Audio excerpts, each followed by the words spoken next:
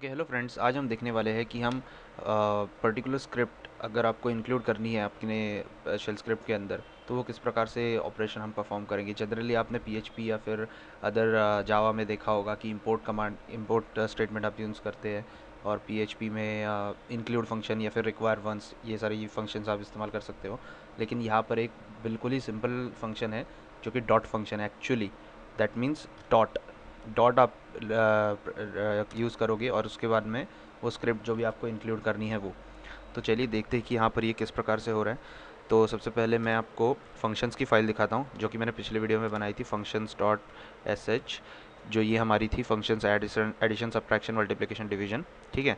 अभी हमें क्या करना है ये फ़ंक्शंस मैंने एक जगह पे लिख ली है ठीक है? इसको मुझे अभी आ, मेरे स्क्रिप्ट के अंदर इंक्लूड करना है और यूज़ भी करना है। तो चलिए देखते हैं कि क्या होगा कैसे होगा।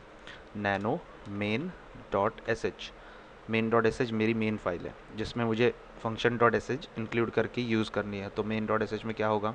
देखिए, मैंने जैसे बताया था पहले कि डॉट फ़ंक्शन हम यूज़ करेंगे और उसके बाद में स्पेस दे के ये जो पूरी लिंक आपकी मतलब जो भी आपका पाथ होगा शेल स्क्रिप्ट का, जो आपको इंक्लूड करनी है, वो हम डालेंगे यहाँ पर। अभी मेरे केस में, यहाँ पर केस में क्या हो रहा है कि फ़ंक्शन डॉट एस एच भी वही है और मेन डॉट एस एच भी वही है। अगर आपके पर्टिकुलर प्रोजेक्ट में अगर इंक्लूड फोल्डर है तो यहाँ पर आप इस प्रकार से लिख सकते हो फॉरवर्ड स्लैश इंक्लूड और उसके बाद में फ़ंक्शन डॉट एस एच लेकिन यहाँ पर ऐसा कुछ नहीं, इसलिए मैंने सिंपल लिखा है। ठीक है, यहाँ पर आपका टोटली शेल स्क्रिप्ट का पाथ आ जाएगा, ठीक है?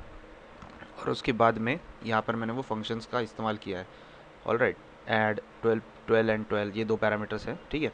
तो चलिए रन करके देखते हैं इसको control X Y enter shell S H main dot S H तो ये देखिए, ये जो फ़ंक्शंस है, ये मैंने function dot S H file से इम्प्लीमेंट मतलब इनिशलाइज़ की है पहले और उसके बाद में मैंने यूज़ किया है मेन डॉट एस एच में।